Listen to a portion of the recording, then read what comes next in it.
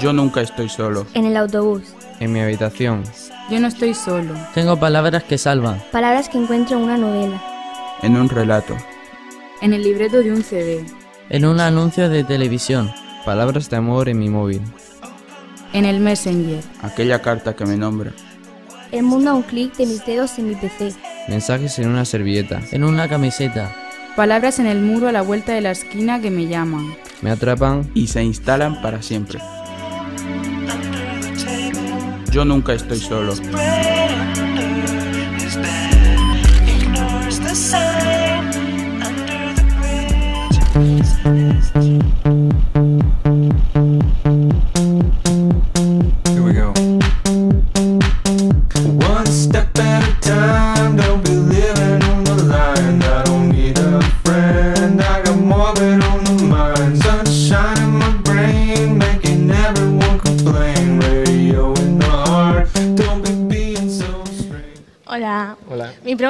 ¿Por qué te atrae tanta la soledad?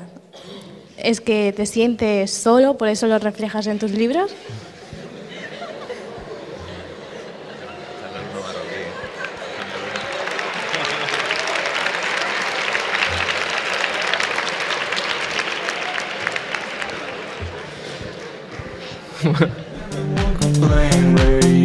Luego me parece muy interesante eh, que se eh, elijan como finalistas obras que en principio no están escritas para público juvenil. Un joven, a no ser que se le hayan obligado en el colegio, si no le gusta, lo deja. Y no solo eso, sino que luego tiene su propio blog y dice en su blog, ese libro es una mierda. Y se lo hace saber a todo el mundo. Y, la- y las críticas son demoledoras. Ahora, cuando les gusta, el entusiasmo también es como tan genuino, tan, tan auténtico.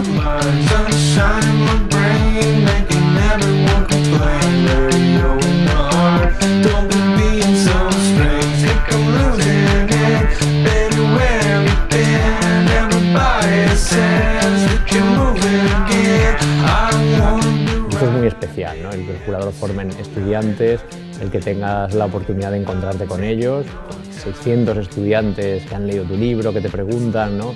que además se han pasado meses leyendo, debatiendo, deliberando, votando, pues para mí es una experiencia estupenda. Y muchas de esas preguntas luego te hacen recapacitar y generan otras historias. Entonces es eh, un- una cuna de sueños.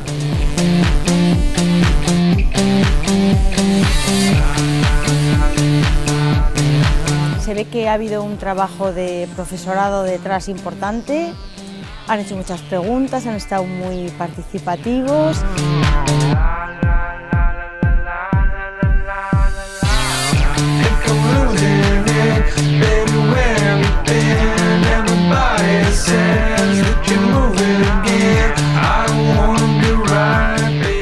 Mm, buenos días. ¿Dónde estás, perdona? Aquí, aquí. Eh, aquí, pero yo no... ¿Arriba?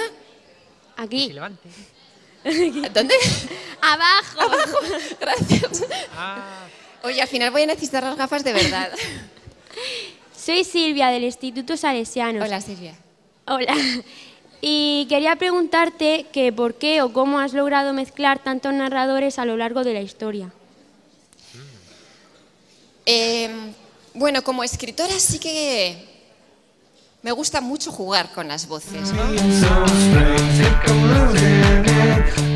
Hace un año había un montón de premios muy golosos de dinero para los escritores, pero que no implicaban a la gente. Y esto posiblemente cueste mucho menos en el sentido de- de inversión de dinero, pero mucho más de implicación de equipo, de gente que mueve. Lo notas, ayer estaba dando una charla y ya estaba saliendo en el Twitter. Todo eso no es solo el capital que se ponga, que también es un esfuerzo importante, no cabe duda. Es la implicación, saber que el premio en el que yo participo van a votar 1.500 lectores jóvenes, si lo gano es la hostia.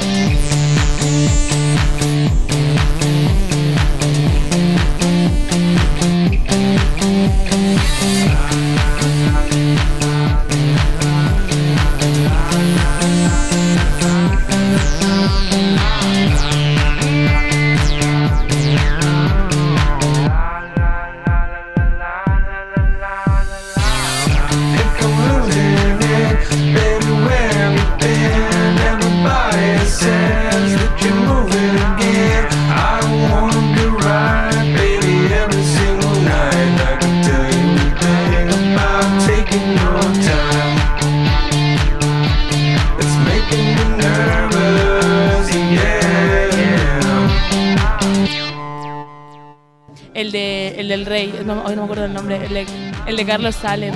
Sí, bueno, aunque sea un trozo, pero me ha encantado porque, eh, bueno, es muy romántico. Sí, me encanta leer. Yo siempre que puedo me cojo libros o voy a comprarme porque me encanta leer.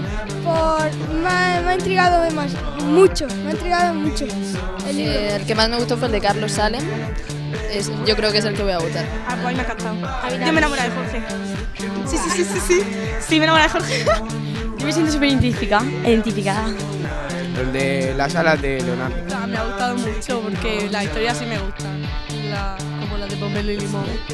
Pues el libro me ha gustado mucho. Me parece que está muy bien escrito y refleja los miedos que, por ejemplo, yo tengo. Thank